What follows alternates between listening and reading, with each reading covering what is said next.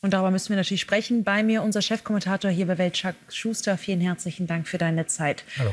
Das Chaos in Berlin geht also tatsächlich noch eine Runde weiter. Vor allem für Kai Wegner, den neuen regierenden Bürgermeister, jetzt eine sehr schwierige Situation. Wie hast du das aber gestern erlebt? Die AfD war sehr schnell dabei zu sagen, wir haben jetzt auch so und so gewählt. Und die Grünen, die ja jetzt draußen aus der Regierung waren, besonders schnell mit der Kritik. Wie muss man das einordnen? Naja, ich würde sagen, einerseits, andererseits. Einerseits ist es ein sehr durchsichtiges Spiel, was die AfD da treibt.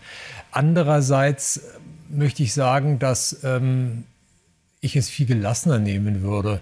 Die Tatsache, dass man ähm, von einer falschen Seite vielleicht äh, mitgewählt wurde, ist doch kein, äh, kein Ausdruck von, von, äh, von, von Falschheit, die man da hat, sondern im Grunde einfach nur äh, ma mangelndem Selbstbewusstsein äh, dahingehend, dass man glaubt, man könne mit denen nicht, äh, man könne sozusagen nicht in dieser äh, Gemeinschaft sein.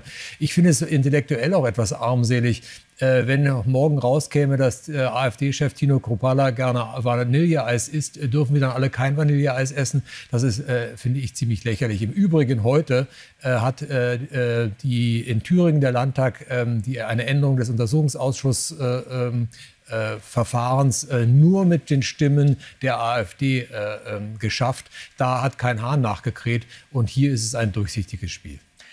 Wenn jetzt Kai Wegner aber in Zukunft etwas durchsetzen will, dann kann er sich ja nicht mal sicher sein, dass seine eigene Regierung hinter ihm steht. Drei Wahlgänge hat es gebraucht und den Ältestenrat und sowieso die SPD gerade mal mit 54 Prozent hinter dem Koalitionsvertrag. Also so oder so seine Position ziemlich wackelig, oder? Seine Position ist angeschlagen, ganz klar. Äh, wobei ich da schon glaube, obwohl es eine geheime Wahl war, dass die CDU geschlossen äh, für ihn gestimmt hat. Also äh, ich nehme den äh, Fehler, wenn man den so nennen will, äh, sehe ich ihn bei der SPD.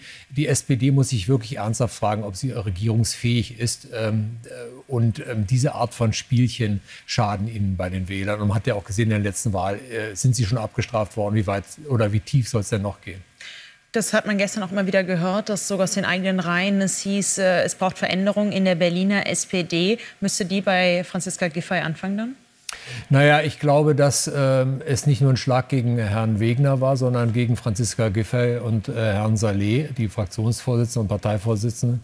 Ähm, denn ähm, im Grunde will die linke SPD äh, die rechte Giffey loswerden. Ähm, und wenn sie es schafft, Wegner zu entmachten oder ihm die, äh, die Mehrheit zu entziehen, ist Giffey auch geliefert.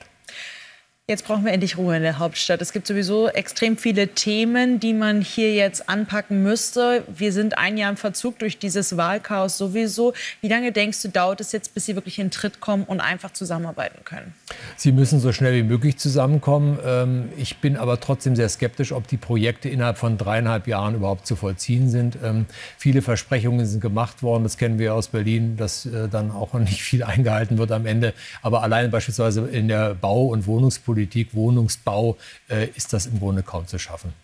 Inwiefern färbt das auch auf die andere Berliner Politik, also die Bundespolitik ab, wenn eine GroKo jetzt von Anfang an zeigt, dass das eigentlich fast gar nicht mehr funktioniert? Ist das gut für eine Ampel, damit man sozusagen sieht, die GroKo, das ist Geschichte, die beiden Volksparteien, die können überhaupt nicht mehr miteinander? Ich glaube, es ist fast äh, für Berliner viel trauriger. Ich glaube, dass Berlin als äh, regional äh, Ort oder Landespartei, äh, Landes, Landesregierung äh, im Grunde gar keine Rolle spielt. Und ähm, es ist letztlich völlig unwichtig für die Bundesregierung, wer regierender Bürgermeister ist. Leider, sage ich als Berliner. Dann hoffen wir trotzdem, dass Sie jetzt hier in Berlin zumindest etwas verändern können und sich zusammenraffen. Jack Schuster, vielen herzlichen Dank.